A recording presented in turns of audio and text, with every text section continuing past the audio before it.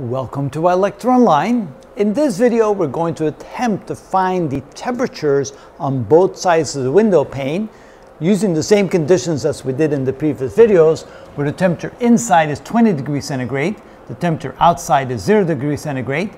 The conditions of the window pane, it has one square meter. The, the thickness through which the heat has to travel, the conductivity path is 0.5 centimeters. The conductivity constant is 0.8 watts per meter per centigrade degree. And now, depending upon the constants, let's see here, we still need the uh, transfer constant for convection on the outside. So let's say that that's equal to 10, uh, let's call it watts per square meter per centigrade degree. And let's say that the heat, heat uh, transfer constant on the inside is equal to 5 watts per square meter per centigrade degree. Based upon those values, what will be the temperature on the inside surface and the outside surface of the glass? Wow, where do we even start? Well, it turns out we can rely on one thing. The amount of heat transferred through the air on the inside through the glass and through the air on the outside must be constant. It's kind of like the current through any resistor when they're in series must be the same. The water flow through any hose must be the same everywhere within the hose or the pipe, regardless of the cross-sectional area. So therefore, we can say that the heat flow through the outside air must equal the heat flow through the glass must equal the heat flow through the inside air. That we can be sure of. And because of that, we should be able to figure out the difference in the temperature on the outside in terms of the difference of the temperature on the inside and the difference of the temperature across the glass. So these are the three things we're trying to find. The difference in the temperature on the outside, the difference of the temperature on the inside, and the difference of the temperature across the window pane.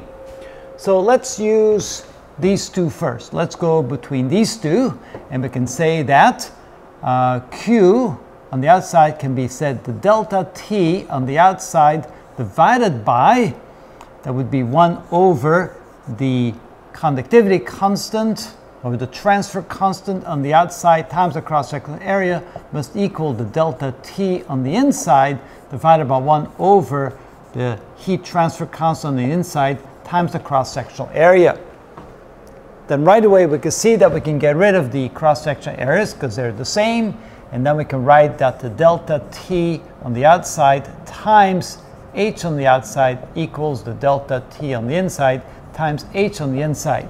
In other words, we could then say that the delta T on the outside is equal to the delta T on the inside times the ratio of H sub i divided by H sub O. Those are the transfer constants on the inside and the outside. And so therefore, this is equal to the delta T on the inside times H sub i would be 5, H sub a O would be 10. And so that means that the delta T on the outside is equal to 1 half the delta T on the inside. Let's see if I got that right delta t on the outside, inside, outside. Yes.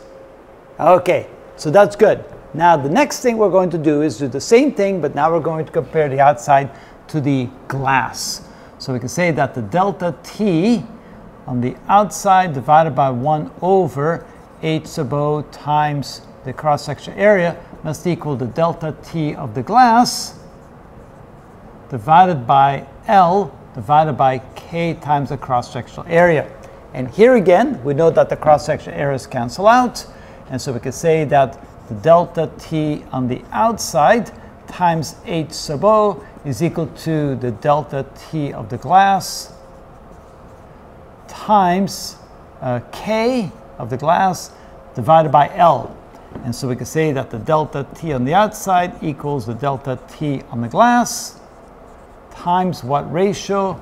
It'll be K divided by L times H sub O. Plugging in those numbers, we can say that delta T on the outside equals delta T in the glass times K is 0.8, L converted to meters is 0.005, and H sub O, that would be 10, right? Uh, right, 10. There we go. Okay. With a calculator, 0.8 divided by 0.005 divided by 10 equals 16, which means that the delta t on the outside is equal to 16 times the delta t through the glass. Okay, one more thing that we can say, of course, is that the sum of all the delta t's, the delta t on the outside plus the delta t in the glass, plus the delta t on the inside must add up to the total delta t of 20 centigrade degrees. And then what we can do then is, let's see here. What I'm going to do is I'm going to reverse these equations. What I would like to do is write this as delta t on the inside. The delta t on the inside would therefore be twice the delta t on the outside. So let's do that. And here, the delta t of the glass, the delta, well, let me not get too messy here. The delta t on the glass is equal to 1 16th delta t on the outside. So now I'm going to make these two substitutions in my equation. So we have the delta t on the outside plus the delta t of the glass is 1 16th the delta t on the outside plus the delta t on the inside is twice delta t on the outside. The outside equals 20. So adding all that together, that would be 3 plus 1 16th times delta t on the outside equals 20, and that allows us to find what delta t on the outside is. So 3 plus 1 divided by 16, and we divide that into 20, and we get 6.53 degrees. So delta t on the outside is 6.53 degrees or centigrade degrees centigrade degrees. All right. So once we have that, we can then calculate the delta T on the inside. So delta T on the outside is 6.53 centigrade degrees. The delta T on the inside is equal to twice the delta T on the outside, which is 2 times 6.53 degrees, which is Uh, 13.06 degrees or centigrade degrees, I should say, centigrade degrees. And finally, delta T of the glass is equal to 1 16th delta T on the outside, which is equal to 1 16th 6.53 deg centigrade degrees. And now realize that the difference in the temperature across the glass is going to be a very minute amount. So divided by 16 is 0.41.